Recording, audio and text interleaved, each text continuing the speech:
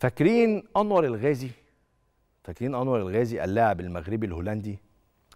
احكي لكم الحكاية بس أفكركم بيها وبعد كده أقول لكم النهارده حصل إيه.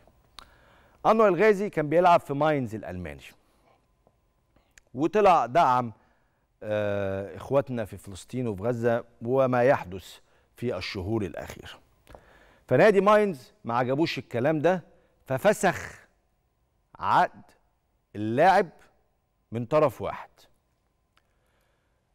أنور الغازي اللاعب الراجل المحترم اللي ما بيسيبش حقه راح وعمل قضية لنادي ماينز الألماني. وطالب بحقوقه كاملة وباقي عقده بالكامل.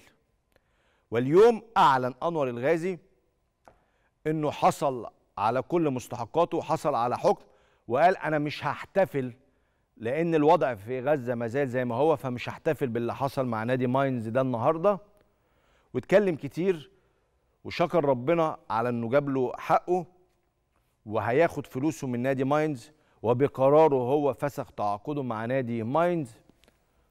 وأنا رأيي الراجل ده كان بياخد مليون ونص دولار في الموسم في نادي ماينز الألماني. مليون ونص. في في لعيبة أجانب في مصر هنا بياخدوا أكتر من الرقم ده. أتمنى إحنا دوريات عربية الراجل ده حر دلوقتي. ولعيب كبير قوي. ده لعيب كبير قوي. أنا برضو مش مش بسوقه. ده لعيب كبير قوي في أوروبا.